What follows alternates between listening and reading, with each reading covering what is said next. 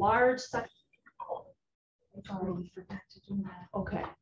There's kind of a large section here about the role of ADRC, so I'm not gonna read that to you folks, but it, you know, I, I kind of put in, um, there's a couple of different acron- acronyms in there and I put in what those things stand for. But I just wanted you guys to have that for your information, what our role is. And then the main thing I wanted to kind of go over is our fifteen core services. So these are the fifteen specific things that we are charged by the state of Wisconsin through our scope of services to provide to Dunn County. So the first thing is marketing, outreach, and public education. So a big focus of the state is to try to get information out there to consumers or to folks of what the ADRC is, what we do, what services we can provide, that we're kind of the central point of intake for folks that are having questions about care in the community, what services they may be eligible for and that sort of thing.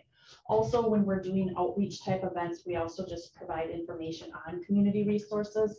Oftentimes, like for example, we just did a, um, we had a booth at the farmer's market. And yes, we talked about the ADRC, but we were also able to answer questions directly if people had specific questions about services that were available. Information and assistance. So that's a, a huge part of what we do. Our three social workers that are specific ADRC social workers, their, their title is actually um, information and assistance social workers. Um, one of them at least is in the office um, Monday through Friday, eight to four thirty, and they're, they're called our intake or our access social workers. So they're there for any folks who just walk in and need information assistance, people who call, people who email. There's always a person available Monday through Friday to do that. And they're providing information and assistance in a variety of ways. Sometimes people are calling and they just need information on home care agencies that might be available. Sometimes it's a, it's a child that's saying, oh my gosh, I'm, my mom is having all these different issues and they really need somebody to talk through those situations. And there might be a variety of things that we can offer to those folks. But some calls are very simple and it's just, you know, pretty direct question and answer. Some are much more complex and there's kind of a, a variety of options we can afford, you know, uh, give to those folks. The long-term care options counseling. So if somebody is, um, you know, the, the INA workers, which is what we call the information and assistance workers shorthand. Um, if they are talking to somebody and they realize that that person may be eligible for what is called a long-term care program in the state of Wisconsin, um, the long-term care programs, one is called IRIS, which is a program that people um, who are kind of able to self-direct um, they're able to kind of manage their own funds. They're able to kind of manage their own care. IRIS is kind of a program that's specifically designed for those types of folks. And one is called family care, where there's more um, of a managed care situation. So folks have heard of agencies called Inclusa, um, they fall under that family care gap where folks um, are working with a care manager and usually an RN as well that help them come up with a plan to keep them in um, as safe an environment as possible and in the least restrictive um, setting as possible. But the long-term care, um, so the INA workers are specially trained to do a couple of things. They're specially trained to do what's called the long-term care functional screening. Everybody who becomes eligible for a publicly funded long-term care program has to go through a screening with an INA worker. Um, and it's you typically about probably 95% of the time the INA worker is actually meeting the person in their home. If the person wants, you know, a caregiver or a loved one to be present, that's certainly okay. Um, and they're going through a, quite an extensive screening tool with them that asks them all sorts of questions, basically about how they function in their home. Do they need help with um, their activities of daily living, like bathing? Do they need help with meal preparation? Do they have memory issues? There's all sorts of things that that are that go into that screening, and the state takes those screenings very, very seriously. Um, I actually feel like some of our, our INA workers are some of the most highly trained screeners of all social workers that we have. They have to take a test every other year um, related to their, their screening abilities. And if they don't pass, they are at risk of losing their jobs. Um, it's they take it very seriously. Then throughout the year, there's additional trainings um, that they go through on a more a less formal basis. It's not a test, but it's ongoing testing to make sure that the way they would score a person in terms of what their needs are match up with what the state expectations are. So um, there's a lot, like I said, that screen is very important. And that helps somebody become eligible for one of those programs, either the IRIS or the family care program. Um, dementia-related services and supports. So every county is required now to have at least a half-time dementia care specialist. Our dementia care specialist, her name is Carla, and she's actually shared, she's half-time in Dunn County and half-time in Chippewa County. And we partnered with Chippewa County like that because we both recognize that it's much easier to recruit and retain a quality person if you can offer a full-time job with benefits um, rather than just a half-time job. Um, you tend to see a lot of people moving from um, position to position when they're when they're only um, in a half-time position. So so Carla works both with us in Dunn County and in Chippewa County half-time basis for both pre-admission, and I'm sorry, with dementia-related services and supports, the other thing that we have to have certified memory screeners. That's another service that we're required to provide is memory screens for folks that are looking for that. Pre-admission consultation and assistance with resident transition. So oftentimes that might be something um, someone is looking to move into an assisted living or a nursing home. We can help them with that process. Someone is moving from a nursing home into the community. They need assistance with that process. A big piece, unfortunately, a bigger piece um, for many counties that have, has come up in recent years is facility closures. Nursing homes and assisted livings that close, we have to take a very active role in meeting the residents and making sure that their, their questions are answered, that they have services that they need, and that they end up in a safe setting afterwards. Thankfully, that has not happened in recent years in Dunn County, but it's becoming much more of, a statewide issue, which is never a good thing. Um, elder benefits counseling, we are we are required to have an elder benefits specialist, our EB, or we call it EBS. Um, Bethany Schneider is our elder benefits specialist in Dunn County, and she does a lot of work with folks who are applying for Medicare or who are going through the Medicare open enrollment um, process and are interested in information and learning more about what their options are and what would be good fits for them. Um, the disability benefits counseling, we're required to have a disability benefits specialist. The elder benefits specialist works with everyone who's 60 years and up. The disability benefits specialist works with people who are 18 to 59. Um, and our DBS, it, her name's Lisa Schuler, and she does a lot of work with helping people become eligible for um, Social Security disability, um, helping them get onto Medicaid programs, that sort of thing. Both of those women are very busy, very busy schedules. Um, number eight, access to publicly funded long-term care programs and services. So again, I kind of jumped to the gun. That was um, the functional screening that I was talking about. Um, going through that functional screen process is how people get access to those, those long-term care programs access to other public and private programs and benefits. So that can that can be a variety of different things. Um, you know, advising people, giving them information on how to become eligible for Medicaid. If someone is a veteran, connecting them up with the Veteran Service Office.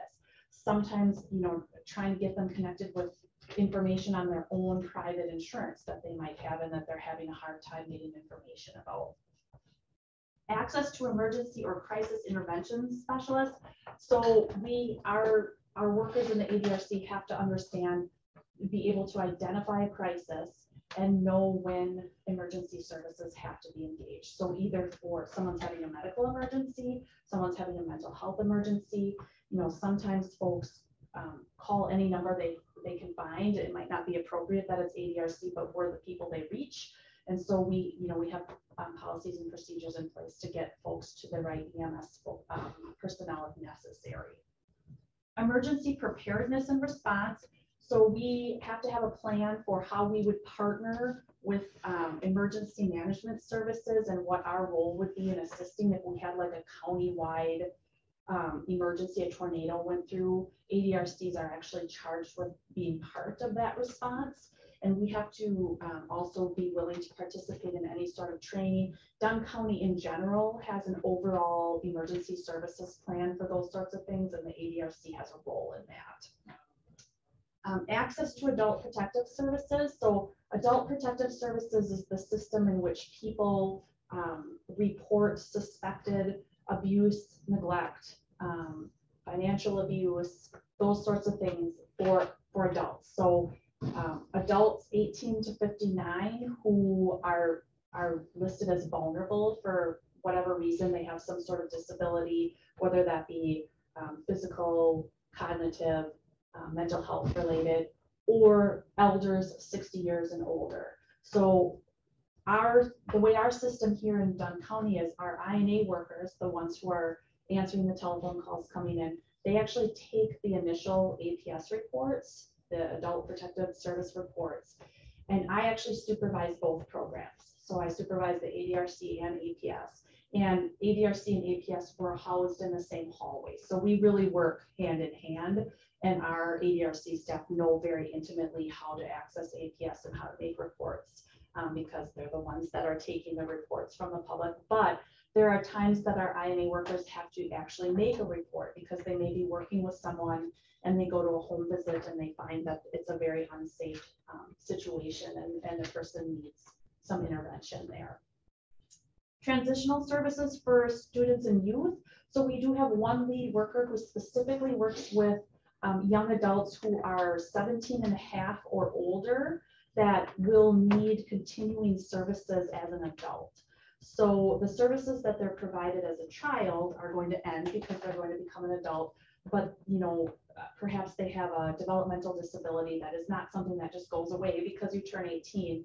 So Amy White is our, our lead worker for that. She gets a lot of referrals from our children and families department, also from the school districts. She has good relationships with a lot of the guidance counselors, so they know to call her when somebody's kind of approaching that age um, that they will need to kind of transition from the children's services side to the adult services side. So there's no gap in service there.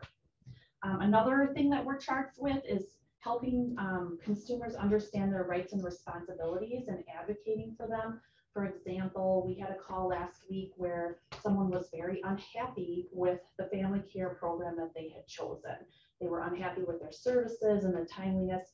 So we helped them understand, you know, the formal process for making a grievance with that agencies, things like that. Interestingly, the ADRCs are actually, by our scope of services, charged with um, doing lobbying, which is, you know, lobbying is kind of one of those things that in general DHS, I don't think we're ever prevented from doing lobbying, but it's very unusual um, for like a behavioral health or family, you know, services, that sort of thing to actually do lobbying. Part of the ADRC scope of services is we are supposed to be part of lobbying for services um, for our target population. So we um, we are a member of what's called GWAAR, which is the Greater Wisconsin Area Aging Program. They actually employ a lobbyist. She keeps all of us ADRCs um, informed of different um, different actions that are being brought in front of our state legislature and asks us to do various ways to contact email, telephone, things that if, if we're in, in support or not in support of a particular action. So we're very lucky. We kind of have a point person who keeps us updated, but then it's the responsibility of us at the ADRCs to follow through with doing that. And then community needs um, identification. So part of what we do is try to identify unmet needs. So for example, um, the community health worker position working with the Hmong population was as a result of realizing that we probably are not doing the best job we can in terms of meeting the needs of that popula population. Um, but you know that can take a, a variety of ways in different communities based on what the different community needs are. The second page, there are three other allowable services. Those are not required, but they are allowed. Um, health promotion, prevention, and early intervention. So some of the programs that really strongly go along with this, um, if any of you have heard of or participated in like the Strong Bones program or the Walk with Ease program, those are considered health promotion. Um, try to, you know, promote health, prevent problems in the future, those sorts of things we can do short-term service coordination. So the relationship that an INA worker has with somebody that they're working with to try to get them on those long-term care programs is not really designed to be a case management or a long-term um, relationship. It's supposed to be, you know, to get them the services they need and then essentially the relationship ends. Um, but there, there are some exceptions that, you know, for whatever reason, someone may have a delay in getting onto one of those programs and they really need some service coordination. We are allowed to do that on a limited basis. It's supposed to be ninety days or less. There is some flexibility with those timelines, but again, that's not our primary focus, but we are allowed to do that. And then other um, services as approved by the State Department of Human Services. So again, like the community health worker position, that was actually designed by the state as a pilot project. So they essentially had, you know, approved um, ADRCs working with that program as a pilot. Um, if an ADRC came up with a novel idea of their own, they would have to go through that process um, with the State Department of Human Services to get permission to provide that type of service. And then the next thing, the governing board rule, roles. So there really are three roles that are outlined in our scope of services. Um, the first is to provide strategic direction to the ADRC to ensure fidelity to the ADRC mission. So again, I think you folks bringing us ideas or things that you're observing in the community um, as I, as talking points for us to discuss, and then for us to figure out if some of those might fit in with the mission of what the ADRC does, um, is certainly something that I think would be a good use of our time. So Yeah. this, this section, the governing board, is that us? That's you, yes, correct. I Because- should have because said that. We are elsewhere always referred to in this county as an advisory. Yes, Right. technically in scope of services, it's listed as governing board. It is considered advisory in all ADRCs. Again, they, the, the scope of services lists it as governing board, but it is not a, um, formal decision-making board in any county. Um, the second thing they point out is advocating for older adults and adults with physical or intellectual disabilities in our service area. So again, our service area is Dunn County, um, charging you with advocating for services for folks that meet our, our criteria. And then finally, representing and promoting the ADRC and our services to the community. So we kind of look at you as ambassadors for the ADRC. If you're going out in community meetings and you hear people who, or you're just meeting with friends, you know, whatever the case may be, and people bring things up about needing services or wanting information, to really point them into the, the direction of the ADRC and letting them know that we're here and we're here to help. Um, there are just a couple I thought of interesting. There are some rules about how our governing board, the makeup, at least one fourth of our members have to be older adults, adults with a physical disability, and adults with an intellectual disability, or family members who are, who are representing them. um, and reflective of our target population. Um, re- representatives of groups receiving limited services may be representative, but don't count towards that one fourth. And a governing board member can only represent one, um, population. So for example, if you had someone who, um, was a- considered an older adult, but also had, um, a developmental disability, they would only fit, you, you would choose one or the other in terms of what they're represent, what they were representing. And I do know that our state, um, the person from GWAAR, who is kind of our, our go-to person every year, she goes over with me the list and what category folks fit in so that she can report back to the state that our, our board, um, meets those requirements. So. Any questions on any of that information? It's a lot. I'm sorry. It really is a lot. And it, and it actually like, I brought the whole scope of services because it's, you know, what is it here? This much. Um, and so I, I, I got it down to about a page and a half, the best I could, uh, but it is actually much, you know, much more in depth than that. Charlotte, yes. What about the funding? Is this increase, decrease? So Where's the, the funding from? the funding is primarily from the state, but there is a county, there's a requirement with the grant that there's a county match for a portion of the funding. Chris, and actually Charlotte, if you don't mind, can I bring that to the next meeting? Because Chris had put together, um, some time ago that, and I believe it was gone over even before my time, but a really good little handout on how the funding works for ADRC. And I think that that would be best. I, I don't want to fumble through the, the, But Didn't we learn last time that someone had lost their position? And they were going out into people's homes? not with the ADRC. We haven't had anyone leave our position. But I No, can It was due to funding, well, lack of funding by the uh, county minister. Can you think of anything, Paula, that would be another department? The only other thing I can think of is home care.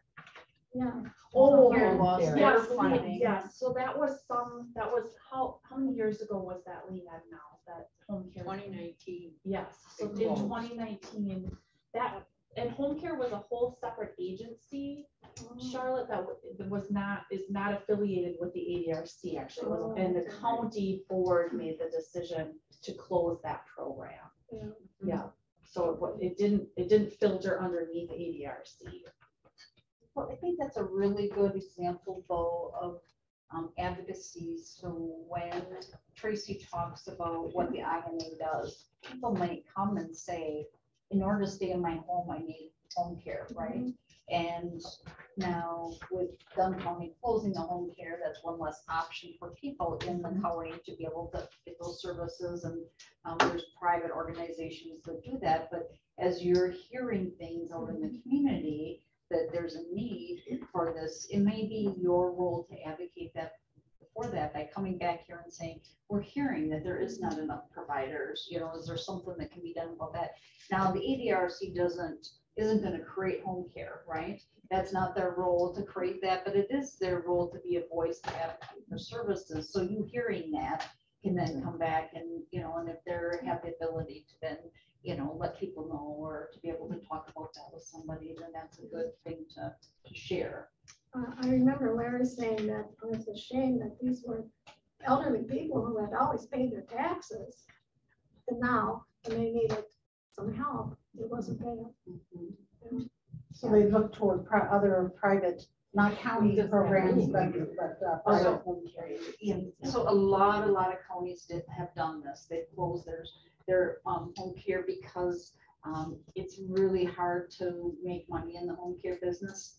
And so, um, counties lose money usually and have to have tax levy in that program. And it's a way for the counties to save some funding with that tax levy. And there are private entities that do do home care. We know though, that when home care is closed in counties, that the residents really then struggle to find home care. That it is, you know, something that we've seen in a lot of counties. So um, it's challenging, but a lot of counties have gone out of that business because um, there's private entities that do that. Wasn't there also a cut in the state funding under a certain governor? There could have been. Because uh, there's a large consortium over in Eau Claire that used to come into homes and do healthcare. And after he had quashed a lot of things, they left like fifteen hundred people going up there. Yeah, fun, I mean, funding is always a challenge and different administrations certainly make different decisions that affect all of us. So, um, Paul and I weren't here in twenty nineteen. I mean, I, I was here, but in a different department and not in a decision-making capacity when the county made decisions regarding home care. I do know it was a long process for them to, to make the decision to close and a difficult one. Um, but like Paula said, yeah, I A lot, a lot of have And- that. you know, in general, many programs in healthcare um, are probably un- underfunded. Um, So it's a, it's a tough business. So, okay, so like the visiting angels, I don't even know if they're out there anymore. Yes, So how do you get a list of those? Because the senior center really needs to know who is actually still doing that. Well, here's the scoop. So we have a list, and actually, I I was gonna meet with Margie, because she brought up some of our lists, for example. We keep a list and we send this with folks when they call for information. It is incredibly challenging to keep this updated, um, simply because things change all the time for agencies, for facilities. Margie was specifically looking for a list of specific, um, facilities that provide memory care services because she helps us with a memory care support group that she runs. And we thought our list was up to date. Well, come to find out, no, it wasn't. Um, Home care agencies open and shut quite often. So we, we do our best. We have a list. All ADRCs have a list for their particular county of what, um, what is available, what services serve those counties. So certainly you can refer people to call us, but we always do kind of have the caveat. This was current when we printed this list. Um, it is possible that things have changed because, and oftentimes, you know, visiting angels is, um, is open and operating, but they may be at capacity for being able to take new clients, so they have to put people on a waiting list simply because they don't have the staff. So it does end up being a little bit of work for folks sometimes to find those services and put themselves on waiting lists. And again, it's kind of scary that, you know, there's a number of places that um, we, we find out after the fact or very, with very short notice that they're closing services. At the senior center, you guys, ADRC is like at the top of our list of referral numbers for any number of Right. things. And we do our best and we really reach out to our folks when they ask to be asked, added to our resource list.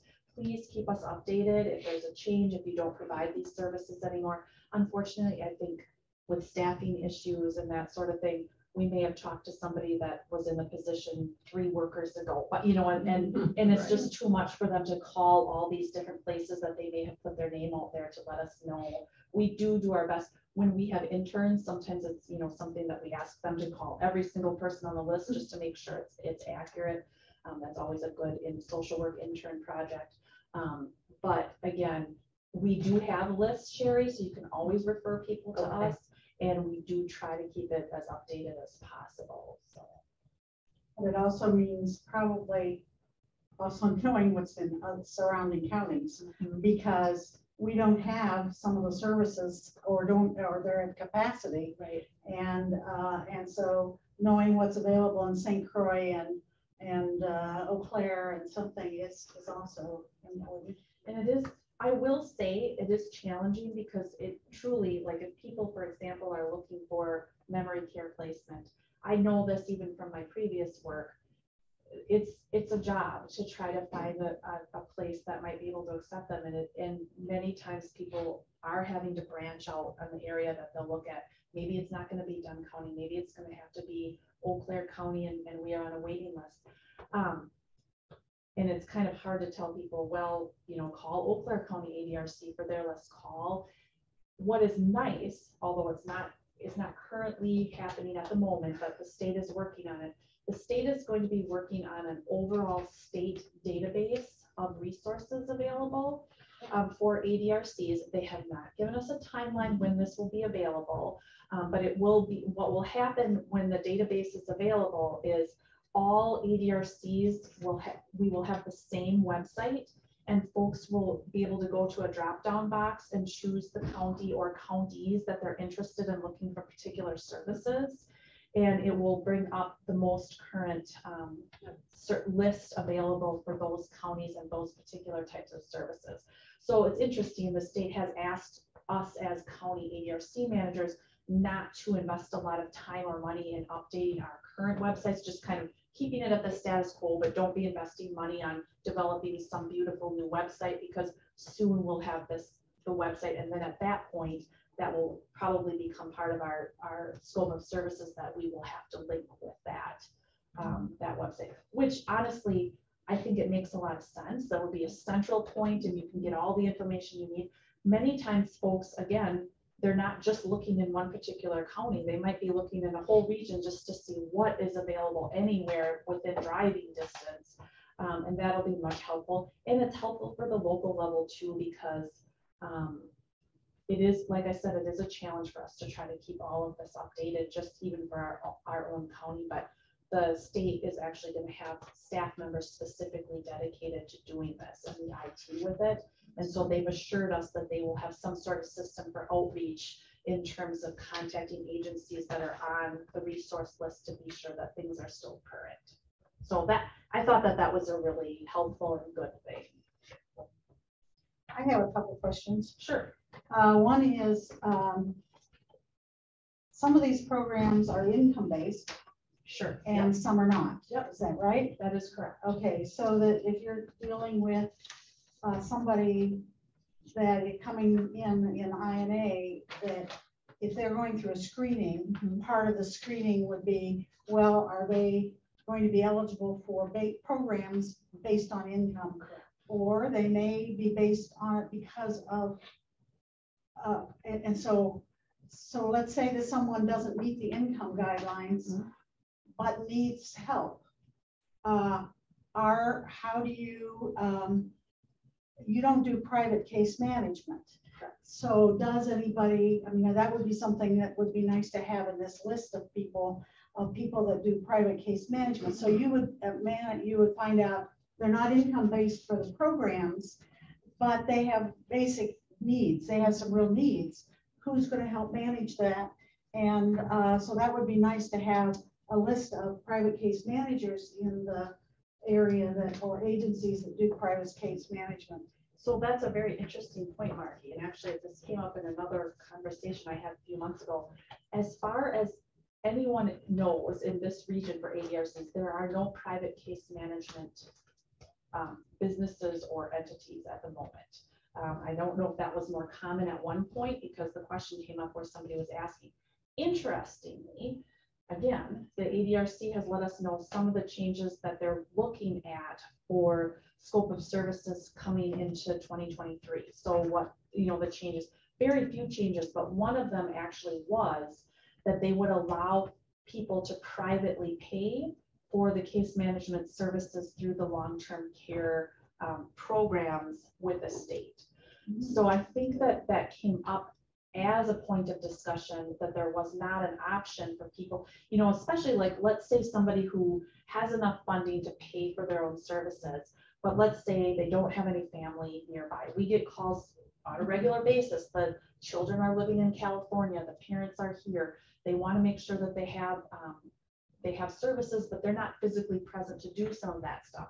In the past, the only way that people got, um, were, could be eligible for like the inclusive family care type programs was if they met the financial requirements of those programs.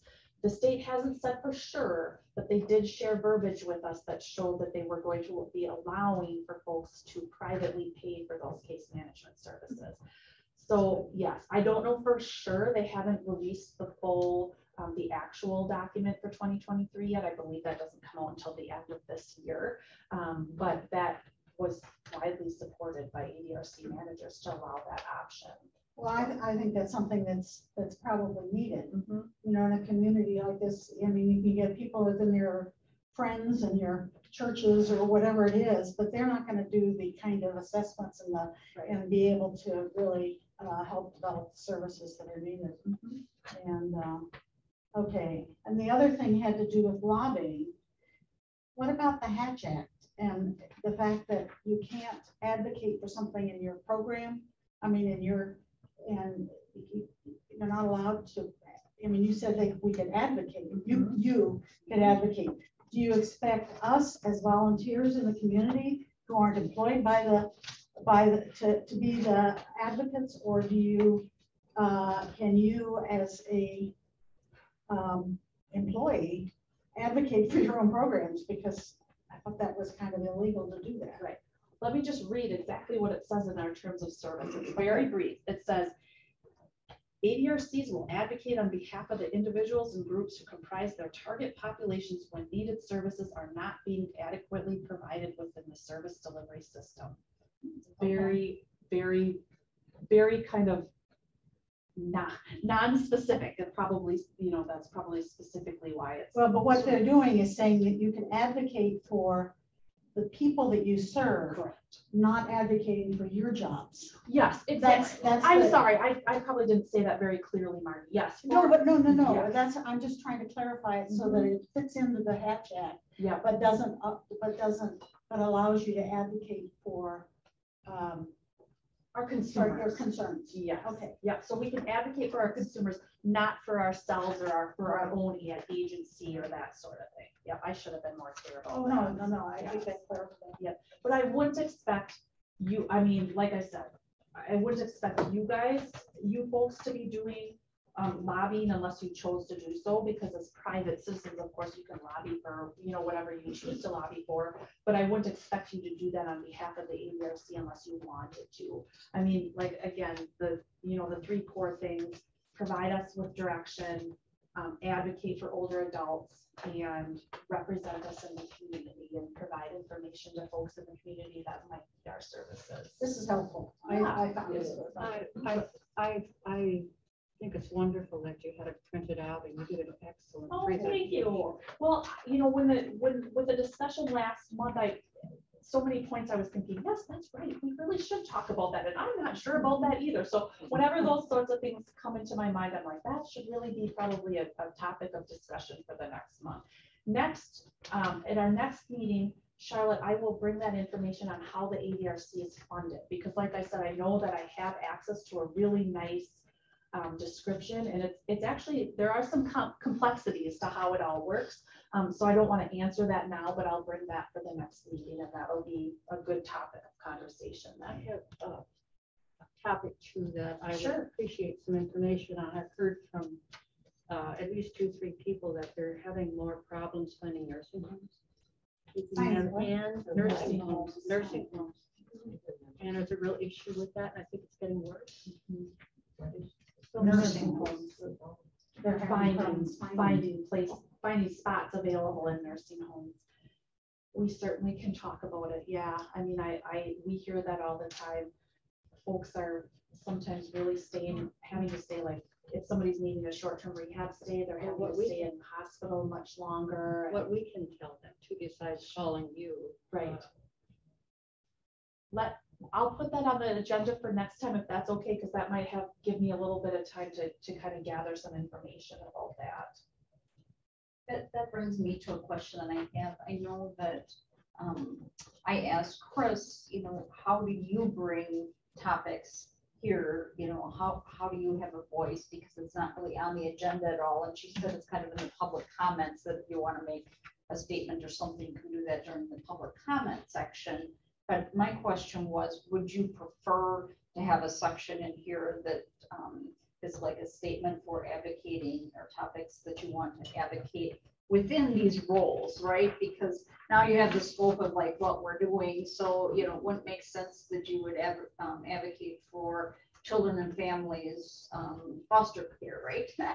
Because it's not within the scope of service of the roles, but now that you kind of have this, if there's things that you want to bring forward and we have an agenda item for that, that would give you the, the opportunity then to discuss things like the nursing home or, you know, those types of things. So is that something that you would find helpful, or do you want to keep it underneath the public comments? I actually thought public comments meant that somebody from outside would come in and make a comment. I didn't know it was one of us. That's typically what it is, so that, but that's how she said that, you know, that you guys have So- done that. So, that? I mean, we're, we're kind of the, the, the voice of the community out there. We're in touch with different people in the community. And we see concerns that people might, and I think it's important that, that we make you aware, the county aware of some of the concerns that we've had, or we've seen out in the community. Um, Yeah, I agree, and that's, that will give you that agenda item to do that. Without that, we're kind of not following the rules of the agenda. What, I'll help you get. Okay, I'll we'll, help get we'll that. add a standing, kind of a standing, um, a standing item on the agenda and Speaking of that, then, I think last month you mentioned that you were sending out a survey to Menomonie, Colfax, Boyceville, on housing. Oh, yeah, the yes. housing, yep, the, I have not seen anything in Colfax at all, and I talked to a couple people. They said, well, if they can't afford it, they don't. do it." and that Okay. wasn't the ADRC specifically, it was. The was it county, we did a, Yeah. a housing study and, um, I'm not, su- is there a library in Colfax? Yep. That's where they got put then, because it was in the libraries. One tenth of the people. And Yeah, unfortunately, Colfax had that property, I used to live in Colfax, they had the properties up there that were gonna give away. I know one person's paying eighteen hundred dollars a year in taxes. And his, he bought the house for two hundred and thirty thousand. Now Charlotte Properties just bought the trailer park. You gotta have an income of twenty-five hundred dollars. Hmm. And when I was living there, it was two hundred and thirty-five dollars. It's now seven hundred and fifty dollars.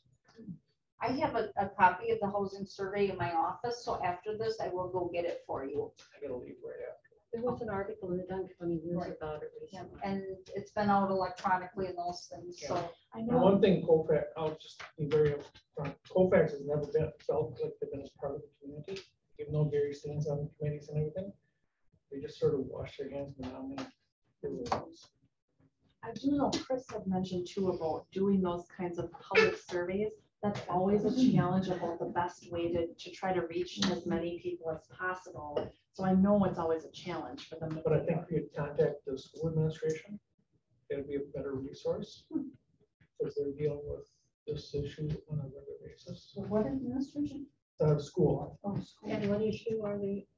uh, well, they, they deal with all sorts of housing, you know, the kids think, well, we don't have any uh, people that don't have homes. Well, they had forty-five or fifty families Mhm. that were homeless In Colfax. in Colfax. That were living with somebody else or in the park or. Sure. And Paula, would you be able to pass that on to the folks that did that survey, just for Sure. future reference? Because the we send library you a- only gets outside people in Sure, the school district, that- has a bigger reach. yes. For sure, I can do that. Any, They could also send it out as an email to parents. oh yeah, the school district. school Yeah. district, yeah. Any other questions on this little guide that I, that we just went over? If it's all right, I'll just jump right into the community health worker activities report. I just wanted to give one more update. I probably won't do, oh, thank you. Um, I probably won't do this, um, each meeting now. Maybe I'll just do it, you know, maybe in six months' time, but community health worker, that was the grant that we got, the pilot project specifically to work with the Hmong community. Last time, I think I just reported that Alita Yang, we had hired her. Um, she had had a short maternity leave and was back. And I am very pleased with some of the work that she's now been doing. Um, we do, she, she organized our stands at the farmer's market, which was a great outreach event for all of us, not just for, um, reaching folks in the Hmong community, but as anyone who goes to the farmer's market knows, a, a lot of vendors at the, um, at the farmer's market are Hmong descent and, you know, quite a few patrons are as well. So that was a great, that was her idea and it was really a great one. She, the Hmong Friendship Group had their first meeting. I know it was kind of a small attendance the first time, but again, just like many of our group meetings, I think they're gonna start small and grow as people become more comfortable with kind of having those group meetings. Um, I have since attended one of their board meetings and, you know, so that is um, regenerating and that was kind of one of her, her major projects. And she also has been taking referrals from some of our partners in the community, um, like actually Bridge to Hope contacted her, the hospitals, um, the local hospital and Marshfield Clinic have contacted her. Um, I'm trying to think, Stepping Stones has contacted her, so her name is getting out there as a contact specifically for folks in the Hmong community that just need, um, probably a little bit more hand holding and a little bit more assistance with walking through the steps of accessing services, which is exactly what those positions are designed to do. So very happy with the progress. Um, the state folks who are overseeing that grant, we meet with them um, at least monthly. Alita meets actually weekly with the other community health workers. Um, and they're very, very pleased with our progress and the different projects that they've, been working on it's very clear to me that the state is very interested in this model and would hope to expand it. They're already working on, um, I don't know if you'd call it the arguments, but the, um, the information they want to provide to the federal government um, as to why this type of funding should continue. So, you know, we're hopeful, but of course, we never know how, how things go with funding. Yes. So it seems like um, the continuation possibilities of that grant, is that something that might be useful for any of us to take the advocacy role? Cool. That's an excellent question. And actually, if you don't mind, I will just ask um, our, the person we work with at the state, she's specifically working on these sorts of grants. She's wonderful. Her name is Allison Molitor. So I will ask her and I will just say that that question came from this group, wondering if there was like a letter of support or, you know, something that you could provide. And I will, I will report back. Um, Okay. That's a, it's a personal cause. Yes. It's All raw, raw about, so I just No, wanted to awesome. ask. I will, I will report back at the next meeting. Um, I'll chat with Allison about that and see if there's anything she needs. She's kind of the point person who is, is working with all the counties and will be the person who, um, authors the report based on the whole Wisconsin project to submit back to the federal government in hopes to continue that funding. So, um, she may not have thought of letters of support, but I bet you she'll love the idea. So, um, so I'll let you know what she says. Thank you, Suzanne. Sure. Or maybe she'll say, oh, that's a death wish, she'll do that. Well, and again, she's, this, um, Allison is very, very experienced in, um, grants, uh, getting grants from, at the federal level, so I, whatever she suggests, suggests, I will know will be good advice, but I will offer that and say that this group, um, made the offer that you'd be willing to do that, um, on our behalf. So that was all I had to say about that. And then um, we didn't have any consideration of actions to be taken, committee, so that moves us to adjournment. We have a motion to adjourn. Okay, And a second? Thank you. And all in favor, say aye. Aye. And those opposed, same sign. We're adjourned. Thank you.